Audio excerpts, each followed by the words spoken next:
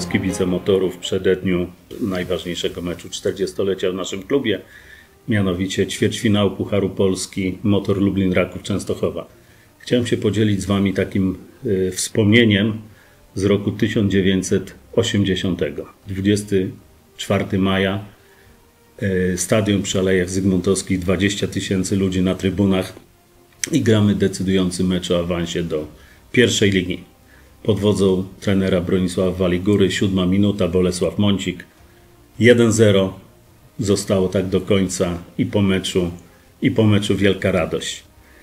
Yy, Na Kalinowszczyźnie, przy ulicy dzisiejszej Lwowskiej, dawnej Bieruta, była restauracja Kalina.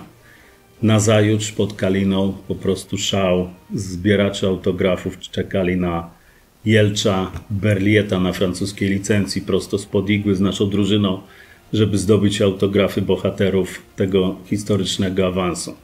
I słuchajcie, parę dni temu, będąc u mamy przy ulicy Krzemienieckiej, patrzę, a przy ulicy Lwowskiej nie ma, nie ma tej restauracji Kalina.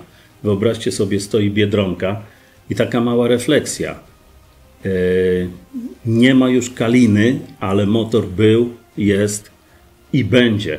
I chciałbym, żebyście za 40 lat mogli historię naszego meczu z 1 marca 2023 yy, opowiadać swoim wnuczętom. Mam nadzieję, że to będzie dla motoru tak samo ważna data jak ta, o której wspomniałem. Motor United.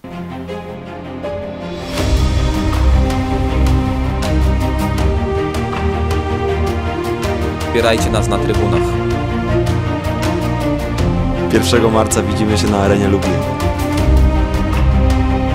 Bez Was się to nie uda.